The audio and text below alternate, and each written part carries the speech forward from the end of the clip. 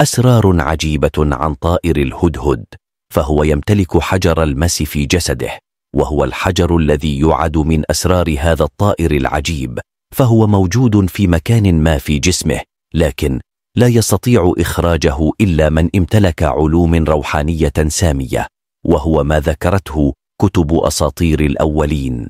حيث وصفت هذا الحجر بأنه قادر على فتح ما هو مغلق ويستعان به في فتح الكنوز وكما وصفت بعض الكتب فإن ريشة الهدهد قادرة على جلب السعادة خاصة للمقبلين على الزواج وعظامه تطرد الطاقة السلبية وتطفئ الراحة والهناء.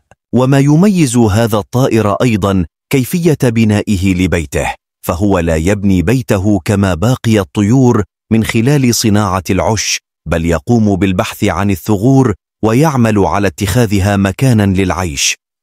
وقدرته على استكشاف مواقع النور القمرية الخاصة باكتشاف المياه الجوفية.